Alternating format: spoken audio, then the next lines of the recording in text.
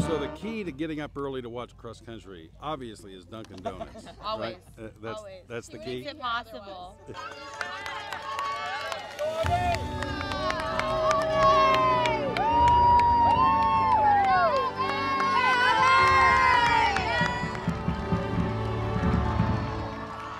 The men's team, while chasing a Southeastern runner for the individual title, stacked it up for the team victory.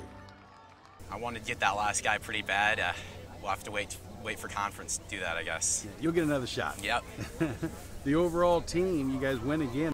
All the guys are working hard, putting in great practice, and you know we, we beat Southeastern today, and we're hungry for a conference win and a team trip to national.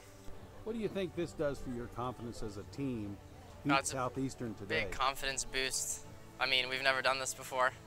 It uh, shows what we have for potential in the future.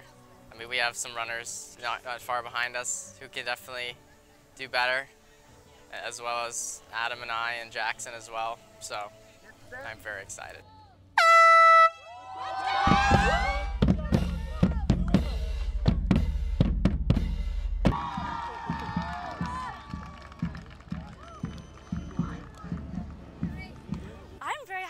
My first race back in the season, so for myself, I set really high goals and I didn't quite reach them, but I'm happy because I know I gave my all, and even though it was difficult, I kept going. So I wanted to race for the team today.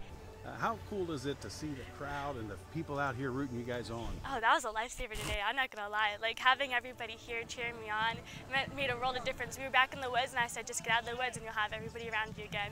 I definitely thrive off of the cheering. Some people zone out. I definitely like hear every little thing somebody said to me, and it makes such a huge difference. Not even counting the fact that your your men won the event, but overall, I think this was a win for for Ave Maria. This event. Yeah, absolutely. We couldn't have asked. I mean, everything kind of went our way.